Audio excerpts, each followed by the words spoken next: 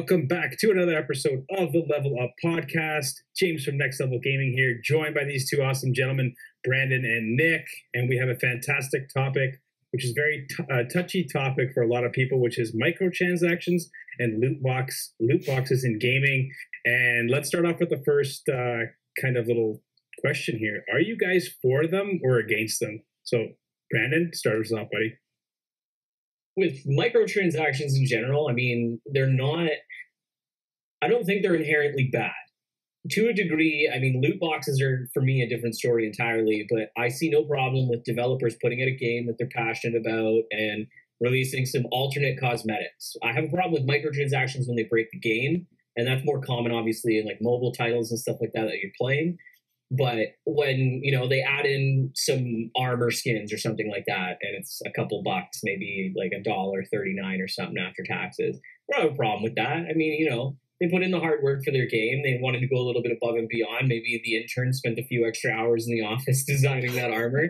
You don't know, but I, I definitely think, at least from myself, being a completionist and, and having to go out of my way to collect all the unique things in the game, it does not hurt to have alternate skins. I know they used to be unlockable in games way back when microtransactions didn't exist, and now they're just kind of shoehorned in for a couple bucks. But if it's not game breaking by any means, then I'm all for it. Sure. Loot boxes are a different story, and okay. I hate them with a burning passion. but they're starting to, uh, from what I can see, get phased out in favor of the ever loving Battle Pass, which I also don't like. So Yeah. Oh, battle Pass 10. I can't stand Battle Passes. They are not the best. it's just it, it, it's such a broken structure where now you're rewarding your player base for continuously essentially please pay us to continue playing our game and we'll give you new content but it's to the point where it's almost like you're holding me hostage because if i take time away from your game to play a different game i bought i'm going to miss out on content that i've technically paid for that's yeah. ridiculous. It's ridiculous. Absolutely. No, I agree. I agree. Microtransactions in general, I don't have an issue with them. I tend not to go into them too deeply. But if they end up coming out and uh, they change how the game is played, or if you end up behind a paywall and you just have to pay to play, essentially, I've already spent money to play, and I don't want to spend more to pay. Right? I find like it's okay. Like I kind of like the DLC method, right? Of just um, was it spending a little extra to get some extra content? I'm okay with that, but as long as it's only cosmetic, that's where I'm okay with microtransactions. Pretty much the same as Brandon. Yeah, you don't want that uh, pay to win style, but that that's more. I guess that's it was it's with what like uh, EA did a lot of that. I know 2K's done yeah. quite a bit of that with their VC and all that stuff. But you see it a lot more in mobile games, right? Yeah, or just pay to, pay to win sixty and all that. But I mean, yeah. Pay like I'm, I'm with you guys on the whole microtransactions. I'm fine with it. At the end of the day, these, like you said, Brandon, these guys work hard on this game. If you, they throw it in and you want to spend a couple bucks on a skin here or an extra weapon or whatever it is, then yeah, that's but that's entirely up to you. So I don't know why a lot of people complain about microtransactions. If you don't like them, then don't pay for them. Pretty simple, right? I, Same with DLC. Uh, battle passes, I think, are useless as well. That's just another way to sleep boss, yes, uh, and having people buy them. But at the end of the day, if you're a business person and you uh, can find a way to gain some extra revenue and that it's microtransactions or it's loot boxes, then yeah, absolutely go for it. I think people get mad at that money. That, yeah, it's the money, but I, I think people get mad at the fact that they have the audacity to be there right? And yes. I agree with both of you that if devs put the work in, of course, they, it's their right to charge what they want for it. And if it's an optional thing, sure. But then it's the internet mentality of this could offend someone, so yeah. I'm going to be offended by it. Yeah, right. Absolutely. And then you run into the whole stuff with like parents, like, oh, my kid racked up my credit card for a thousand bucks on skins for Fortnite and all that stuff. well, sorry, that's your own stupidity, first of all, for giving access to whatever, a minor, like 10, 12 year old, to your credit card. That's your fault.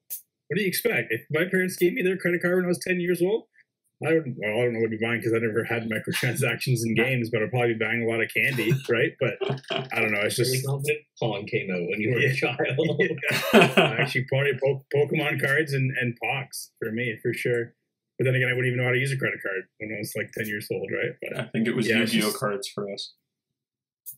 I'm a little older than you. That's rockets in there. A I little older than you, though, chance. The like I found, and I know this is again. I'm going to reference TJ in this, and he still hasn't. You know, he's not in this episode yet, But um, you, TJ. I, yeah, I just miss arguing with them. Like, Yeah, they're just so Um, heated and it's so nice. the one season's pass I've encountered that I, I don't have issues with because it didn't feel like it was a time monopolization towards one game would probably be Rainbow Six's season like season pass. oh yeah. I completed that thing in probably a week, and sure, I, it was the only game I played for that week, admittedly. But when it's supposed to be a three month thing that I can complete in a much smaller chunk of time, whereas the COD season's pass to fully finish without also then buying advancements in the season's pass, Yeah. it's it, it, it's hectic. Like I don't have time to sit there and exclusively play Call of Duty, either Warzone or online multiplayer 24 7 nor do i want to. I don't have you know the drive to sit and play cod anymore. I'm not 14 years old. Like i'm not i don't No- have school no offense, or anything like that I Not with that beard, you're not. Yeah, if i shave i will look 12 granted so that's, that's why this thing always stays but it's uh the, the siege seasons pass i thought was perfect it, it had a good balance of like every now and again you get renown boosters which you can use to buy the cosmetics uh, as well as unlockable cosmetics exclusive to the season's pass but at no point in time did it feel like it was a chore Yeah. you know we Yeah. we played eight matches one day maybe six matches the next day maybe four matches the following day and it never felt like because i didn't consecutively play eight matches each of those days I was hindering myself in my progression. I got Yeah. everything that I wanted from the season's pass. I hit the end, and for the next two and a half months after that, I didn't touch Siege. So Yeah. Yeah, it's it, like it sounds like uh, you know Siege has attainable kind of DLC or microtransactions, whatever search season pass you're talking about. Um, I think Ubisoft does it well, like even with the division with their season pass slash uh, battle pass that they they came out with when they dropped the uh, was it going back to New York uh, section there for the game. New York, I think. World, Yeah. yeah, Warlords of New York. Sorry. Um, so I think they did well. Ubisoft did a pretty good job, but then you have our good old boys at EA and uh, and 2K that kind of they really ran. Actually, EA's gotten a little bit better. I I play a lot of uh, NHL um, Mhm. with the whole hockey ultimate team where you're buying the packs. Yeah. But see, I buy the, I always I get the game and I always drop fifty bucks right off the bat, and that's it. Build my team, do my thing. I know lots of people. I have buddies that drop like two, three hundred dollars on building their teams because of the whole like opening hockey packs and Yeah, things like that. I- packs, maybe that's just our generation because we grew up buying hockey cards or baseball, whatever it is. But I know EA took flack for that. Same with 2K and their whole VC. Um, but that's a little bit much with the VC because like everything on 2K is all about VC. You want to Mhm. upgrade your customizable player, you got to have VC. You want a pair of shorts, it's costing you five bucks. Like it's cra- Yeah. too crazy for me. Uh, I never dump any cash into 2K games aside from buying the game. Yeah. But, um, yeah, there's just some developers that obviously take advantage, but hey, they're making money. If you're going to keep doing it, they're going to keep putting it out. So that's basically why they're uh, they're they're in their games. Yeah. Um, so let's uh, let's jump into the next question because I know a lot of lawsuits recently have emerged from this. Do you think that uh, loot boxes, uh, primarily, do you think loot boxes are uh, considered gambling? Like, would you consider that gambling with with minors and gambling and and uh, and all that? So I don't know who wants to start chatting about that first, but Um, I honestly I don't consider it full out gambling, but I do get where people are coming from. It's um, it's you're you're paying for chance, but the way I see it is it's not. There's no return there. The return is potentially an item, right? But then at that point, it just falls into the same thing that Overwatch used to do, right? If you're gonna do, uh, get a loot box, then you have a chance of getting this. If you want to pay the money, it's just a microtransaction, right? Yeah. Whereas you're not doubling your money and then trying to reinvest it back into it. That's just kind of where I'm at with that. Yeah, Yeah, I agree with you. I'm, I'm totally. I don't think it's gambling at all. Um, I can see where you know, obviously, like I was talking about parents and their kids racking up their credit card, but that's that's up to the parents. You need to monitor your children now. Uh, with everything available to them uh, through gaming or even just the internet in general, but like you can't you can't give access to a credit card uh, to yeah. a minor that's going to just rack it up. And he just like, and it, like you said, it's like everything's to chance, right? What's the probability of me getting this rare item? What, 30%? Well, yeah, they, they consider that maybe like some sort of slot machine style uh, uh, gambling. But, yeah. And there's no, I don't know, there's, I don't see any disclaimers. I haven't played games where I'm, I'm buying loot boxes. Uh, so I don't know if there is any disclaimers now in gaming where it says this is some sort of you know state of gambling. Uh, never over the age of whatever like it is. That. So, and they won't because they're making money off of it, and until they actually, you know, the lawsuit goes through and they get sued or they get fined or whatever it's going to be, which it'll just get hung up in court for years for sure.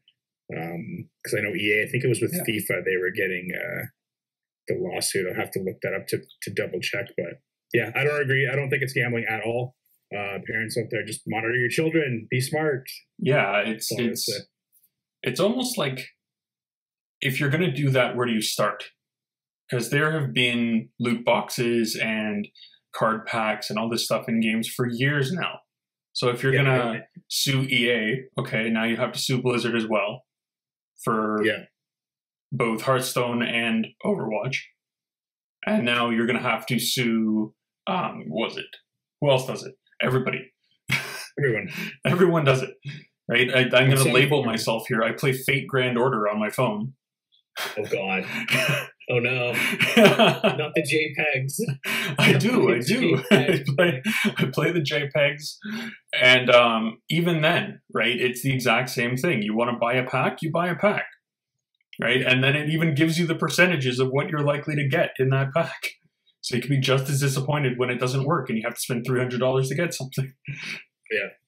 I don't necessarily so like I I mean I've I've also seen to, to counterpoint the argument it's not a child this is a grown adult um and to to narrow it down specifically they're obsessed with 2K like they they love 2K um and they spent in the time that I knew them although I knew there was more purchases before and after I associated with this person roughly 3000 Canadian dollars on player packs just to get a handful of players they're looking for in like the mega deluxe ultimate diamond edition card or however their tier system works in NBA. I don't play sports yeah. games um, on principle because I don't support these stupid things. But I, I will argue that it is a lot more harmful and a little bit more gambling when you're now taking, you know, like any any specific player. Like I know, let's say LaMelo Ball. You want to get LaMelo Ball in 2K, right? and mm-hmm. I get him, but I've only got the platinum version. And I know that if I buy that same loot box again, I have a chance of getting the same card with better stats. Yeah. yeah That's yeah. when it starts to become very cloudy. Yeah. I don't necessarily agree with that kind of rendition where, like, if I bought the pack and I get the card, I should have the card. I shouldn't then yeah, have to continue paying to rank him up or yeah. like do overly egregious tasks in game to rank him up either way. Yeah. Like uh, that, I think is a little bit too much. There are loot boxes that I agree with. Overwatch's system for loot boxes. I mean, you get loot boxes for winning matches. You get yeah. them for daily challenges. Same applies to Hearthstone. Yeah. Like they give them out like it's candy. Yeah, exactly. So, and I, I mean, I play, I dabble. I won't say I play, but I dabble in Genshin Impact, which is uh, pretty much Nick's version, but a little bit more intense. No, uh, no judgment. Um, so I like I I haven't been susceptible to purchasing any loot boxes. I haven't felt the need to buy any of their roulette plays essentially um, in the game. I think the bigger problem that people are having here is these games are supposed to be, you know, E-rated titles for the most part. These games are supposed to be for everyone. And when you're putting such a heavy emphasis on a market that is not really with their own disposable income, these 10 to 12 year olds are borrowing their parents' credit cards because they don't have credit cards, because they don't have money.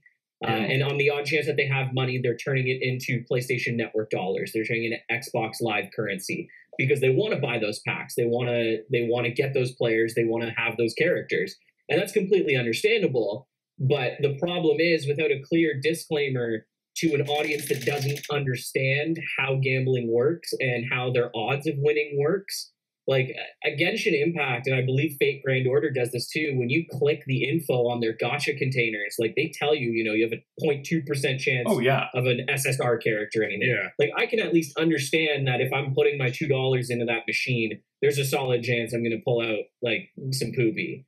Yeah, of course. But Especially the 10 to 12 year olds, like they'll just keep putting money in unknowing, unbeknownst, thinking that like, you know, eventually a pack will open up and I'll get that character I want or I'll get that player I want. And, you know, you get the LaMelo Ball or the Ronaldo and you're thrilled. But they don't realize, you know, $10,000 is, is, you know, not a sizable chunk of change. Like I remember wanting to buy Lego sets that were like 150 $200, but at Walmart, my mom's telling me no. And I'm just like, why? You make money, don't you? Like, Yeah. and I obviously I was a very like you know stupid child clearly because now I buy seven hundred dollar Lego sets at the age of twenty five. That's beside the point. That's beside the point. That's your choice now. But it's your You know. money. It's your money. And Yeah. where do we where do we draw that line? You know, like I there's arguments that kids do know better because they have access to the internet at any time. You know, they have phones, they can just Google gambling and have a basic understanding of it. But Yeah. You know, they're they're susceptible to it. And even if they understand what gambling is, they don't maybe understand what gambling addiction is. Yeah. And I think Like- that's kind of sorry if I'm interrupting, but No, go for it. it's it's kind of like and that's where I kind of agree with you in a lot of loot boxes go for the slot machine effect. Right? It's Yeah. Oh, I pulled this time. I was so close, so maybe I'll pull again. Right? And eventually Yeah. it does trick you into thinking or releasing that little bit of dopamine that makes you so happy, right? That you're like, okay, I'll do one more. One more turns to two more, two more turns to four more, and then suddenly you've spent two hundred dollars on loot boxes like trying to Yeah. get the the the golden Reiner uh, or a Reinhardt skin or something like that. He's got one. He's got I bought a one hundred dollar elite trainer box for Champions Path to get this Charizard. it's a promotional card that's guaranteed in the box at least, but I did get 10 other packs of cards trying to get the shiny Charizard. I did not get it, and I've subsequently ordered more Pokemon cards, but it's the same thing. Yeah. you just proved our point. Yeah. You can tell by the more. Snorlax on my couch in the very distance Yes, there that, uh, you know, was that I have a friend? problem, clearly. Was that friend you were telling us about you? My money? Yeah, You're not boring money. No, you might be. I don't know. No, no, I won't throw that on my credit card. Credit cards. Yeah. How I restrict myself. Is like, let me check the ball. Yeah, okay. Do I get groceries this week or am Am I I buying buying more? Yeah. I don't need to That's eat. it. Yeah, it's uh, it's a very, it's definitely a very gray area in terms of whether it's like full on gambling or not. But it's just crazy because even so, I play 2K. I do the my team, um, and when I got the uh, the Mamba edition, the one with Kobe Bryant, it came with like every week I get packs, right? So Mhm. whatever you sell the stuff you don't have. I've always I've been playing these type of games like when with NHL when they first came out with the Hockey Ultimate Team. Yeah, I'm not gonna lie, I totally dropped like hundred bucks on packs of cards because I was like, this is awesome, right? Get to open all these cool cards and build my team, right? Yeah. Um, and then eventually be like, I bought the game. I just enjoy the like you know opening a few packs and then building my team. Um, but I've lucked out. So every year that Ultimate Hut has come out, I've always pulled something on the first set of packs that I've bought that basically like racks me up to like half a million coins, and I can build my team. I never dump anything else. you're lucky. But I also know that uh, you know the difference between right and wrong when it comes to gambling, and I'm not going to drop four or five hundred dollars on loot boxes or packs of cards, especially uh, with with EA. They show you like, oh, you're guaranteed two golds with 80 overall, and you're Yeah. guaranteed whatever. 2K does the percentages, so it shows you like you're guaranteed zero point, like you were saying, it's actually zero point six percent chance of pulling an 85 overall. Well, I know right there, like, why the fuck would I spend twenty dollars with a zero point two percent chance? I might as well go to the casino and put it on black, where I have a 50 50 well, not 50 50 chance. Not 50 50. I wouldn't say that. But Yeah. Do you know what I mean? Like, Like when I go to the casino. yeah. Remind me not to go to a casino with you. you got to count for the double zero and the zero, right? but it's just interesting, um, and I think uh, that comes down to like the parents too, educating your children on addiction, whether it's with gambling, uh, you know, smoking, alcohol, whatever it can be, like crazy heavy Mhm. drugs.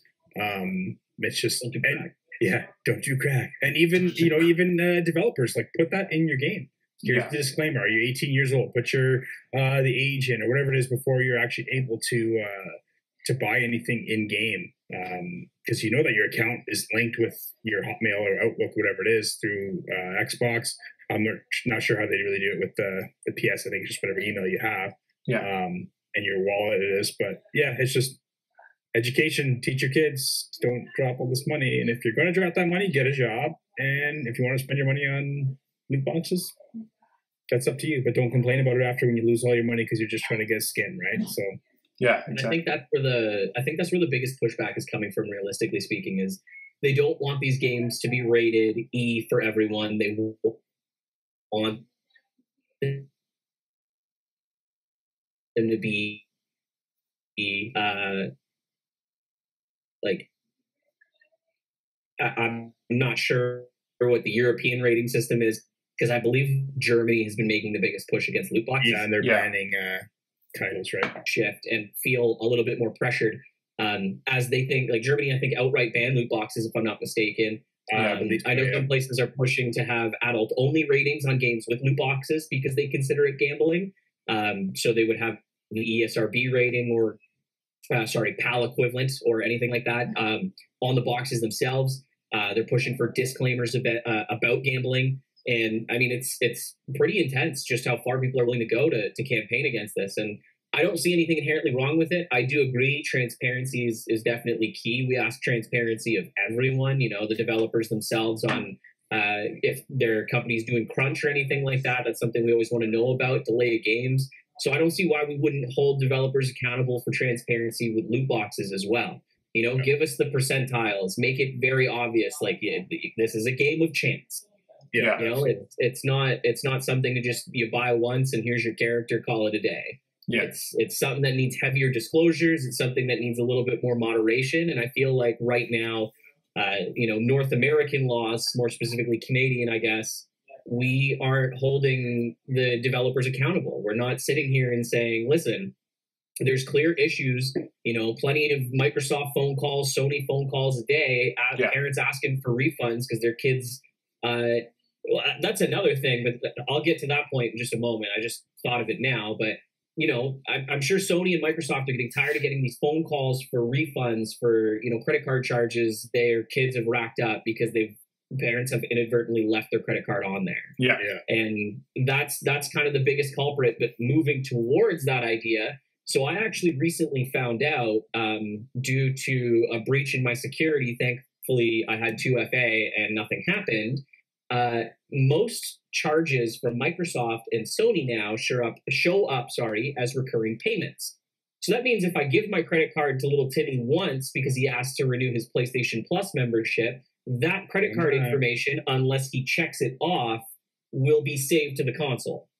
So unless yeah. I also then put a password to protect any credit card purchases further, which I'm sure they're not exactly making transparent on the systems either. I haven't seen any pop-ups asking no. that. Oh, why would they?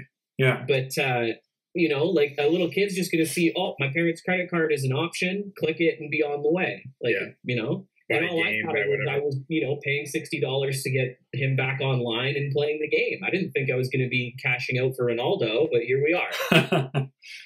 and then the thing too is like Microsoft and Sony can have that argument. Well, we do have PSN cards and Xbox cards. That instead of loading up your uh, credit card, you can just you go that, buy those. Yeah.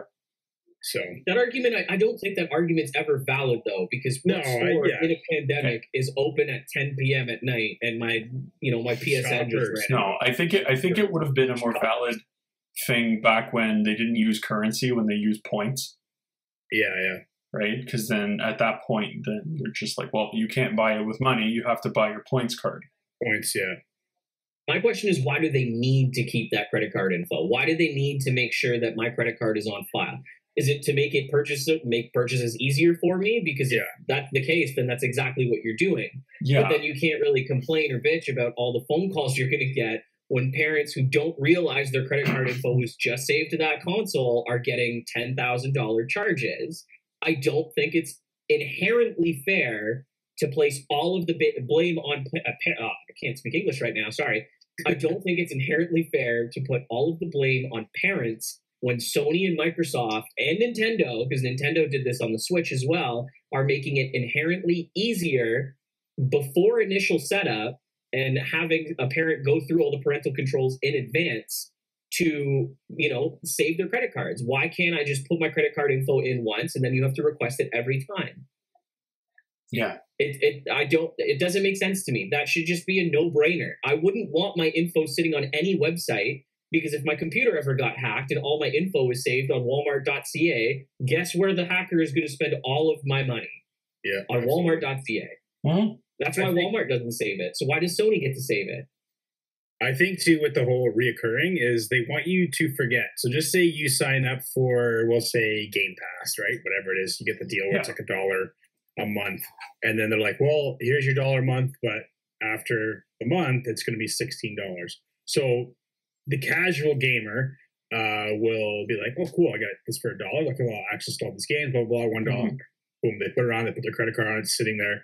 They're like, okay, they don't play. They play once a month, twice a month. Then they're like, oh shit, it's a month over.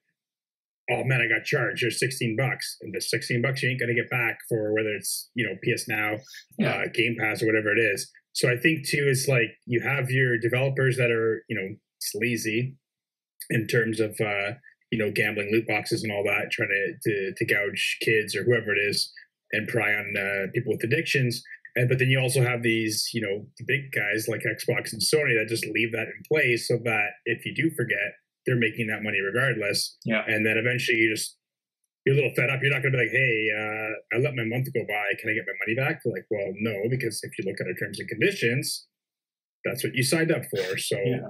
your SOL. And I wonder how many like actual parents that um, you know go and call uh, daily, like to Xbox and, and Sony, like, hey, my 10 year old just racked up 10, 20 grand on my credit card.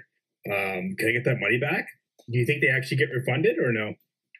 I don't think so. probably not Yeah, I, don't it, it so either. depends really i mean like there's there's certain instances where it, it does and does not work i mean again like i i've seen or heard stories of people getting like $300 charges and that gets refunded and they kind of just write it off as a hack Mhm. um Yeah, and if i guess you know if you want to argue it that way you can but ultimately it's all the power in the terms and agreements are given to sony to microsoft and to nintendo uh, to hold the right to refuse that refund so Yeah. and i mean if the kid's already blown like if, if they've put the currency in the wallet and haven't spent it i would imagine that might be something sony's willing to reverse Mhm. But if the kid's already bought or whoever has already bought, you know, the 40 EA Ultimate FIFA Ultimate Team, whatever. I don't play sports games clearly. Uh, I can you know, tell. packs, they're not. They're not going to do that. There's no because then they have to get EA to reverse the packs Reverse and the- everything. and that never works. That But, never like, works at all. And, and then obviously, you know, I still do think that uh, there's a certain accountability of parents just saying, no, you can't use my credit card. Yes, we'll take you to, you know, local retailer to buy a PlayStation Network card or whatever. But what I want to know is if they need to save that credit card info, if it's absolutely mandatory to have that credit card info and Sony and Microsoft will not budge on, you know, switching it off from a one-time payment or switching it from a subscription to a one-time payment, at least make it mandatory. Like it, all of them have the option to password protect that field, where you click purchase, you click checkout, and then when you click confirm, you have to re-enter your account password. Why is that optional and not on by default? Let's dig into that, boys. Let's look up their uh, ter- terms and conditions. I At the end of the day, nobody nobody reads that shit anyway. So I mean, maybe that's why we should read it. yeah, we could look at that and we can come up with some of these points to see about the whole uh, refunds and everything. I would I'd really like to know. Uh, maybe we can get somebody from Sony or Xbox on the next podcast.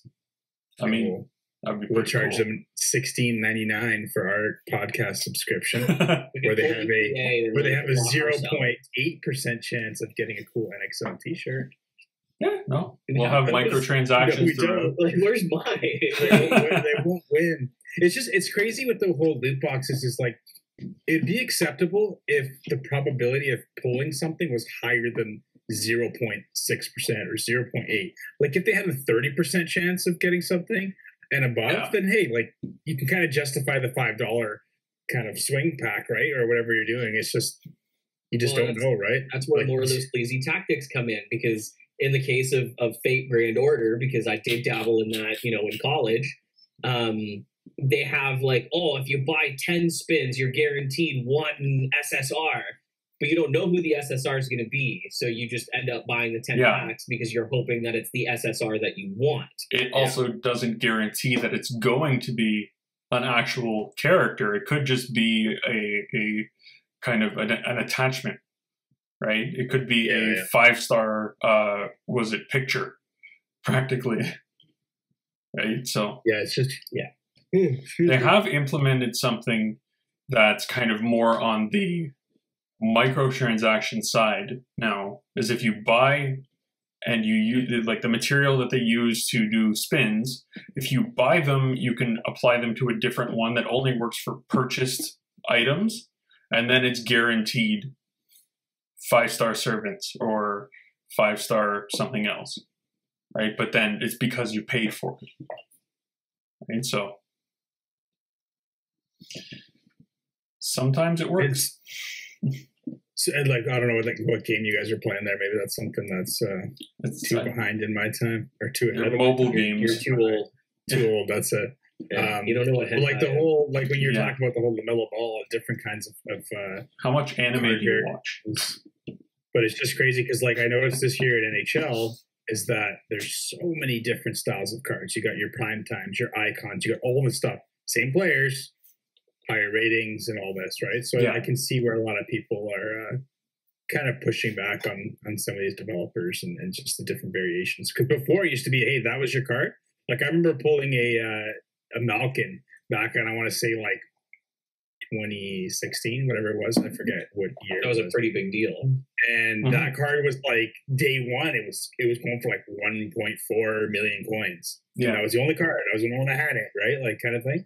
So it's crazy. So now it's you had you pull something really good. You spend the 50 bucks. Mhm. Like I pulled the I pulled the Vasilevskiy this year, and I'm like, oh sweet, this card's 86 overall, one of the highest folios overall. I go to see how much it's worth in the uh the auction house. It's like 4,000 coins. I'm like, why? Oh, because there's seven different variations of Vasilevskiy, and each one it's higher, right? So you're like, well, what's the point, right? it's literally the trading card mentality Yeah, but you know? I'll give EA credit because uh, in the last couple of years they they've done enough in uh, Hockey Ultimate Team where you can grind it single player wise, or even just grind it and, and gain some packs and things like that when you're playing uh, online as well, so- which Mhm. is good because before they didn't have that. Where it was basically almost pay to win if you wanted to build your team. But even then, you have guys that spend thousands of dollars on these teams, and you go out and smoke them with your twenty dollar team kind of thing, right? yeah Uh, same same with with uh, 2K because I know we keep picking on these guys, but 2K same same thing with my team. I don't even play online because I kind of suck at NBA um, and get smoked for sure. So I don't want to do that because then I'll be like, oh, I got to buy more cards. Um, uh, they have a lot of uh, single player, uh, you know, modes that you can just keep gaining VC or keep gaining coins to build your team up and stuff like that. Yeah. yeah, it's just Well, interesting. Everyone has their take on it. I know, Mhm. like we, I mean, we all agree and disagree on certain things, but it's just again same same associate uh, as an example but um so it, he had made like $3000 in purchases but i've also watched him like navigate the menus and stuff like that. And i can tell you from like experience of like him calling me and saying like hey can you do this on my xbox really quick? Like i know how to navigate to in, in 2k20 I know how to navigate to the in-store shop, buy a pack, and open it better than I can putting one of those characters on his roster. yeah Like that's ridiculous. And like I, I mean, I'm I don't feel bad for picking on 2K because 2K has been called pretty much a casino game for as long as I can remember. Like it, that's pretty much Mhm. the joke. Like yeah the entire thing is just a running casino of, of chance and luck. You want cool sneakers, pull a box. You want, you know, cool characters, pull whatever. Like open packs, that's it. I think I've seen him spend more time buying things and opening packs than I actually have seen him play a game. Crazy, eh? It's crazy. that's And that's no, half of the no fun grind. i think There's no grind these Yeah. days, right? You notice that there are certain games that I mean, aside from uh, shooters and stuff like that, but in terms of sports games, there's there's not much grind anymore. Where you know, I don't know, maybe it's just me. We also Well, that, that's like the Star Wars Battlefront 2 argument back when that first released and had its controversy Yeah. with loot boxes and stuff. Is like, you know, it's that you could unlock the characters, but the grind was just so monotonous and, and tedious that it was upsetting that you would it's just infinitely faster to here's 10 bucks open a pack oh i got darth vader we're good. Yeah. And that's that's where like I, my mentality always comes from that. Like i love unlocking characters. I was a huge fan of the time splitters franchise you would get characters for completing the story you'd get new characters for completing it on a harder difficulty you'd get new maps to play like almost everything was unlockable by just playing other content in the game yeah. Obviously, it's mm-hmm. not just going to be handed to me willy nilly. Like, if I want the really cool characters, I got to achieve, you know, gold status in this mini game challenge or whatever. Um, but that, in, to me, was a cool system. Like, uh, Time Splitters is still one of my favorite games. I still go back and play Time Splitters 2 and Future Perfect all the time. Yeah. I love those games. And I have all of the characters unlocked because I have no social life. But the game did that to me it incentivized me to keep playing it without actually having to put in extra dollars. It's like you've paid for this game. How about a challenge instead of giving me your credit card information? Mm-hmm. Obviously, they'd probably prefer my credit card information, but that's a different story. I didn't mind the grind in Battlefront 2. Yeah. I didn't do too much of it, but I don't know. It's, it's not for everyone.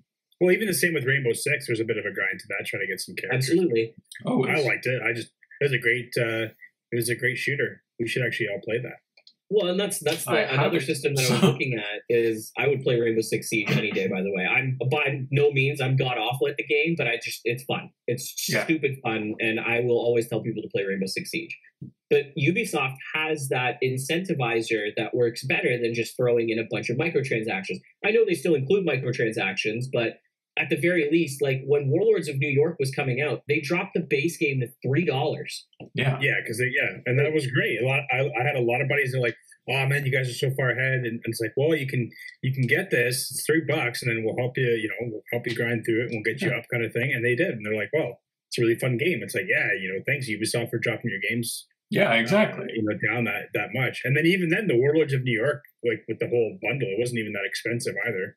Mm-hmm. So I think to get the gold edition plus the new DLC as a pre-order was like sixty bucks altogether, yeah, which was which great. Was yeah, huge. And I, I bought it. I bought the gold edition for like eleven dollars and figured I'll give it a try. If I like it, I'll pick up Warlords in New York.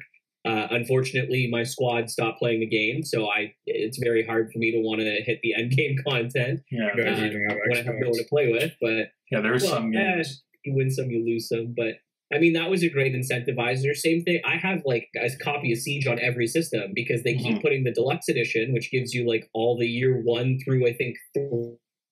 Yeah, I think it's one through three. Three, yeah. Characters that they released for twelve dollars Play Store. Because um, for some reason I thought that UPlay was cheaper than Steam, and then I wanted it back on Steam, so I bought both copies. okay. I have it for Xbox and PlayStation. Like I have it for everything. I did that with uh, what was it, Destiny Two. I got it at EB a few years back. It was like four ninety nine, and then uh, played the shit out of it with some buddies, and yeah. then now it's on Game Pass with all the DLC pretty much on there. I think it is. It's pretty it's much it's it's free to play, and then the DLC is on Game Pass right now. Yeah, yeah. And so, then, which I'm okay with that. That was a smart way to go. If you're going to keep charging for DLC after that point, you might as well just make it straight up free to play. Yeah. Um, Those are the passes that I miss. The expansion passes where you yeah. spend fifty dollars and you get four between three and five usually like ten to fifteen dollar DLCs. Like yeah. the very first DLC I ever paid for, any online microtransaction I ever paid for was, if I can recall correctly, probably Operation Anchorage for Fallout Three. And yeah. I do not regret that purchase. That was like little however old I was in 2008 when that game came out, and then the DLC I think subsequently came out in 2009. I was elated. It was so oh, cool yeah. that I could get a new part of the game downloaded to my console for ten dollars. and like a whole new storyline, a bunch of armor that was super overpowered. Like the Chinese stealth armor is, is just insanely broken in Fallout yeah. 3. But like that's that's the structuring that I like. Like let me pay for the content if it's not very long, then I'm just going to tell you that it's not worth, you know, buying. But at the very bucks. least, I have to make the initial investment. And at that point, I can also decide if I want to throw you extra dollars because obviously I'm going to buy the DLC if I like the game. If yeah. I don't like the base game, you got my $80. You know, fair's fair. The game's poo poo, but I'm not going to buy your DLC. Yeah. Cyberpunk. That reminds me of that reminds me of uh, Borderlands 2. And all of those DLCs were great. Great and it was a great addition to that. Um, actually, I should probably go back and play it. Um, even they had, even they again, had like we're not doing that again. it was fun. That's it how I got all the achievements. I died of oxygen in the prequel. Yeah, no, the pre-sequel. the prequel is not the best. But, I need to make it through Borderlands 3 first. Uh, yeah, no, I've gotten through it. I think I'm like two hours into that. Yeah, I think so I, I, finished the campaign. Um, you guys should get PlayStations. Hmm? Soon, soon. You can get PlayStations. Soon, soon, soon. But yeah, no, well, it's it's. It, let's uh let's go into the last question because we kind of yeah, we kind of started going crazy. Um, so if you had the choice of altering the way microtransactions and loot boxes are uh, to make them better, to make them, you know, more appealing, that uh, they don't look like gambling or whatever it is, how would you change them now in gaming? Um, Brandon, I know you're talking about how the, you know, the old school expansion passes. Um, yes. I think that was fantastic because when I first started playing online gaming, whether it was like Gears or whatever it was, it was like that. Here's your expansion, it's an extra whatever it was, and you got maps, you got skins, you got everything rolled into one price, and it was like the whole year, or even more, whatever they they did. So um, I'm definitely all for going to that old school route with the whole expansions like you were talking about because it's, it just makes it easier for people to uh, to kind of you know here's an extra twenty bucks. Why not yeah. instead of here's an extra 80 and then here's an extra 100 and now i'm like oh i have a 6% chance of getting whatever well here's another $200 right um, so I'll let you guys go on that bad way that question as, there as much as i don't as much as I don't like to encourage digital, um, I will be the first to vocalize that I hate digital only content because you don't mm-hmm. truly own it. But that's a different story. I think the games that should make the jump to being digital only titles are sports games. 110%. Yeah. I hear every year from reviewers, from people who play the game regularly, basic fans, that there is no changes outside of roster updates, realistically speaking. I don't know if they change engines. I don't know what happens behind the scene. I am not a game developer, so do not quote me if I'm speaking out of term on that. But I think what they realistically could do is get rid of the loot box structuring and just host as much as I also don't want to admit this, like uh, battle pass events. You know, get a, a cheaper tiered battle pass structure or something that's just not overwhelming to the point. Like Call of yeah. Duty's battle pass out of whack, but if it was something catered more towards Rainbow Six Sieges, where you know I get like a, a retro jersey or something like that out of it for you know the Boston Bruins, that I'm I'd be okay with and then only charge for the roster updates. If all you're really doing is just adding players and adjusting their stats, why am I paying $80 for that every year? Charge yeah. me $40 and keep it just a digital game where I only have to download, you know, here comes the update, and then uh, shortly after the update rolls out NHL 22. All I have to do is pay for the key to unlock the content that was in the last update. Yeah. And I'm golden. I have the roster updates. I have all the characters you know, all the players who are traded independently or, or in the off season. That makes there, much more sense to me. And you're cutting out again. I, as much as I don't want to encourage anyone not buying physical copies of games, please buy your games physically. You know, you're cutting out the extra costs of production. You're cutting out all the extra costs of printing the CDs, shipping them with all those costs gone, you can definitely afford to lower the price of your roster update, you know, patches. Yeah. Realistically speaking, that's that's going to be the best structure for them. In terms of non-sports titles, I want expansion passes back. Even yeah. if it goes to a more microscopic degree where like they work on maybe a 2-hour quest line for a week and it gets added into The Witcher 3 for 3 or 4 bucks if it's a good game and I already like it, I know I'm going to commit to buying that. Three dollars for an extra two-hour experience of a game, especially if it's newer or you know fresher content, maybe cut content that they originally couldn't include that they can include in the uh, you know in their downtime or, or when they're not effectively working on their next game or, or patching anything. I'll pay for that, no problem. If it's a game I'm passionate about, I will 110% pay for that and play either that or at the very least switch the battle passes to a free to play system Let Mm-hmm. me play your game for free. Let me try it out. If I like it, I'll pay for the battle Right, pass, yeah. and I will. You can take my dollars that way. Yeah, I think that's a fair system. I think that's justified. You know, Fortnite does it, and Fortnite does well with their battle passes. Fortnite always keeps it interesting. I've never played Fortnite, so I mean, if I'm if either of you have, and I'm saying something I put it. I factually have not incorrect, played it, so I can't correct you. interesting. Um, Yeah, they're always updating it, and it's always you know, they almost got their hooks in me because I'm a huge Keanu Reeves fan and I love the John Wick series. The trilogy is probably my favorite pieces of cinema in existence. I almost started playing Fortnite just to get the John Wick skin way back when that came out. hmm And I, I would have went crazy for it. I don't think I'd still be playing Fortnite today, even if I did start playing back then. But I think that's a great system. Anyone can play this game, but you can pay for better content if you want it. You can pay for, you know, cool skins. You can get all this crazy stuff. And their promotional stuff works too. Like they had that Galaxy skin for the Samsung Gal, like the new Note that was coming out way back Yeah. then. That was a couple of years Yeah. ago. They had Yeah, the Merry Mint pickaxe that was going crazy. Like it's easy to make money that way. Yeah. You know, why Yeah. charge me for the game at all if you could just monetize the rest of it? And I know that sounds awful because that that really does. At, at no point in time should the entire game be monetized.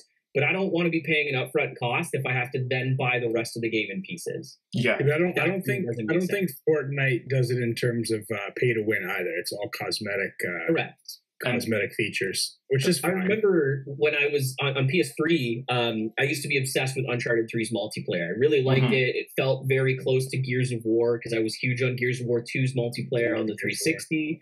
Um, Uncharted 3 just kind of felt like a good transition for me while I'm on PlayStation's ecosystem instead of on my 360's ecosystem. Mhm. And at one point, all of the items that you could unlock in the game for multiplayer, which were customizable, you know, like a new beanie, a new sweater for your uh, custom avatar character that you can design and stuff, uh, as well as unlockable weapons that had attachments that you can equip to the customizable guns. They had uh, preset templates similar to blueprints in COD, or you could just get the base weapon, but sometimes certain attachments aren't available on the customization. They're only available on that preset weapon Mhm. uh, they released almost all of that content. The beanies uh, started having abilities like, you know, increased accuracy. With a penalty, though, you would decrease your reload speed, hypothetically speaking. Um, they monetize that. Instead of keeping it locked behind these grand achievements and having to get certain treasures and stuff, you Mhm. just buy it for a dollar. And I think it, that's a little bit more predatory, obviously, but because you know it does affect your character stats. But at least they included a positive and a negative. It's not like you were buying a hat and all of a sudden your accuracy is twenty five percent better and you're just better at the game. You kind of have to tailor it to your trade off. You know, you could essentially buy things that you could still unlock in game. They didn't eliminate the ability to unlock these items. Yeah. But you could buy them if you wanted them right away and build a better loadout faster. It was just a fast tracking system. And they weren't expensive. You could buy a beanie for 99 cents. You could buy a whole outfit for three bucks. Like, I don't mind doing that because if I think a hat's really cool and I want to wear it, I'll pay the 99 cents for it, especially if I'm Mhm. going to be playing that multiplayer game for a long period of time. And it works great in third person shooters because you're actively looking at your avatar. I Yeah, don't so understand character first person- customization in a first person only game. Where you can't actually do that. I want to look at how cool my corpo outfit is, and all I can do is stare Look straight down mirror. into the event. That's all I can do. And if you stare I look straight in down, the mirror, sometimes my hair don't doesn't clip in. It just goes to disappear. I'm bald. It doesn't make sense. Stop putting customization. It doesn't work. like I don't like it. Anyway, Uh, there's there's smaller systems that can work and I think can work much more effectively than what's going on right now. And a lot of to me, I think would be better off done for starters with lowering a lot of the price points that we're seeing here. At no point in time should you be offering me to spend hundred dollars on in-game digital only content. Why am I paying for JPEGs? Why am I paying for You're- animations? Yeah. That's insane. because it's That is ridiculous. Somebody else is buying it. There's It's because- buying it. People buy it. Yeah. Exactly. Um, That's all it is, right? There should Because never somebody be an bought option to spend more than hundred dollars on in-game currency, and people need to stop spending hundred dollars on in-game currency. I understand if it's your waifu, I understand if it's your LaMelo Ball or your, you know, Waifu. Vasilevskiy or whoever. Yeah. But please, for the love of God, save your money. Like call ING Direct and save your money. Call Geico. Get Not the in discount. January. It's Save your rent. tangerine. Come Yeah, I on. know. I, I banked. Ten percent or more on so- car insurance. Anyways it's it's just please like we need to see lower you know lower cost to microtransactions. They're not supposed to be the entire game. They're supposed to be supplementary to the game. And i think that caveat to microtransactions has been long since Mhm. lost uh, especially when it comes to devs making money. I also wouldn't mind personally paying more upfront for a game. If game prices went up $90 or $100 gaming is one of the few industries that has not been in uh, sorry gaming is one of the few industries that has not been affected by inflation over the years. Game prices have essentially gone up to match inflation versus overall cost, like mm-hmm. sixty dollars in two thousand versus you know eighty dollars today. It matches the consistent dollar, but it has not properly inflated, Yeah, and that's that's huge. I'd rather pay hundred dollars for a full game where I could just unlock everything with some dedicated grinding sessions on the weekends. I don't want to buy loot boxes. I really don't. And that's from someone who has bought loot boxes. Yeah. like, you know, Yeah, I, I, I wouldn't mind paying that. I wouldn't mind paying hundred dollars or whatever. at least like with you're saying. Pokemon cards, I have a physical item. Like I can show Yeah. you, you Yeah, know, you can show my Charizard. show the But, like, Charizard. Yeah. If you come Shoot. over and I tell you check out this sweet, you know, purple Reinhardt skin in Overwatch, you're gonna look at me like I'm like it's stupid or dumb. Can't see your guy. Did what you did you pay for At least that? I can just be like, yo, check this out. Check this out. But I got for The only time Charizard. the only time you see your character is if somebody kills you, and, and at that point you don't want to see Yeah, your like- character. Like, oh my god, stupid. He's dead. Um, I think I would say if I could change microtransactions, I would probably limit it to only cosmetic. If you're gonna put something in that changes the game, even like a 99 cent beanie, provide a method to get it without paying money. Right? If it's gonna if it's gotta be a play the game for 30 hours or spend five dollars, I would much rather play the game and try to unlock it myself because then that's me achieving something. It's Yeah, almost like the how reason why you bought the game. well, yeah, That's the reason it's- why you bought the game to play it, right? Exactly, and it comes down to the same thing, and I guess you can relate it to Xbox achievements too, because at some point they did mean, they didn't mean something. At some point there were difficult ones besides just play the game forty times. Seriously, Yeah, yeah. 2.0. Play play like for Mass Effect, play through. Was it on insanity without changing the difficulty, which is crazy, right? But I don't know if they if they came out and said, okay, you could do that, but if you spent five dollars, then insanity would feel like normal, right? It really kind of takes away that experience. Yeah, it takes the fun out of it. Yeah. hundred percent.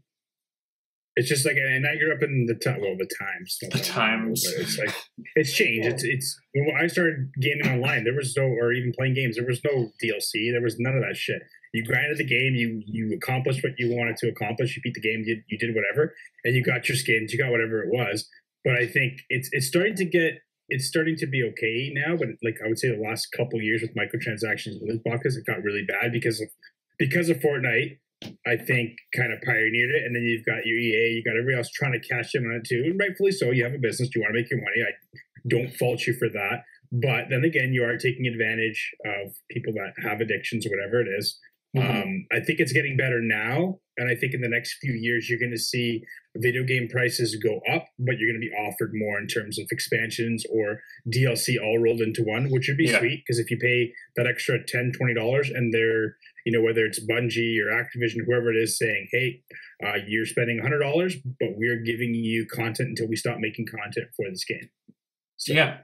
So I'll take content any day. Give me new Yeah, and I'll pay story, the give me extra. new quests, Yeah. new enemies. Like, Yeah. just make it make it good. That's it. That's Yeah. all I ask. If it's a new experience. I'm I'm for it. Yeah, it's just if you're going to be paying 10, 5, 10 bucks for just a, a shirt, like it's pointless. But Mhm. like we're saying, people are buying them, so these companies are going to keep putting it out, right? So Yeah. A shirt should be like fifty cents, fifty Yeah, cents, you- a dollar at most. Like, Yeah. and that's that's that's kind of the gimmick though. Is like if you're playing the game for the first hour and you see in the shop they got a really cool armor set that's ten bucks, you know, and you got the game on sale for thirty, so you didn't even pay full price for it. and then three hours and you don't like it, well, now you just spent thirty dollars, you know, or sorry, forty dollars based off of the numbers provided uh, on a game that you ended up not liking three hours in because you liked it for an hour and saw really cool armor for ten bucks. Yeah, yeah. And I'd yeah, be less uh, disappointed myself if I spent one dollar and it was thirty-one total dollars. But you know, it's going to be I, interesting uh, to see the direction that everything goes now, whether or not these lawsuits go through with EA, or whoever it is, um, and see where maybe we can touch back on this within the year or next year and see how certain games have come out with DLC or expansions or microtransactions. We can compare it to previous years uh, and see how it goes. But uh, quick question before we kind of uh, tail off and, and end this episode. Going forward, do you think microtransactions in the next five years will be around or will they be gone? Well, they'll still be here without a yeah. doubt. There's no way they're going anywhere. I think they might be in worse. some capacity. They might change, they'll evolve, but they will most certainly still be here. Yeah, for sure. There's no way they're they're going away. It's it's an easy moneymaker, especially for vulnerable people. And it's kind of sucks to say it that way, but it uh, you can see it. If you spend two hundred dollars on your parents' credit card, right, that's two hundred dollars in the pockets of the developers. Yeah. So yeah, I think they'll stay, but I think like how they're starting to do more battle passes or whatever it is, it's going to change. Yeah. It won't be microtransaction. It won't be a loot box. It'll just be it'll be a larger like uh, content pack for you. Yeah. At around 30, 40 bucks, whatever it is. So it's still going to be there, but it won't be as extreme as as how it is uh, now. And and people just well, people will still blow their money, but there's no way it's going away. Uh, yeah. We're gonna start seeing bits of games getting cut out, and just the games will be castrated, and we'll have to pay for new sections. Yeah, sit in paywalls, walk up. It's gonna be interesting. Asura's Wrath did it right in whatever year that game released. I don't remember off the top. Mm-hmm. Well, Neither of you played it, did you? No, that's it, boys. That's it for this one. Um, unless you guys have something else to add, but no, no, I think I could be here for hours just telling talking about my don't do it. I don't know how long you want to go, James. the thing is, is like, why spend hundred dollars on cosmetics when you can just buy another game? Why spend a hundred dollars? You could be giving us a hundred dollars, and that'll probably yeah. effectively take you further than that little animation you just paid for. We'll, we'll actually buy Pokemon cards, and like, I might be able to pay rent. You might be able yeah. to pay rent. Yeah, that's an internet bill or whatever it is right now.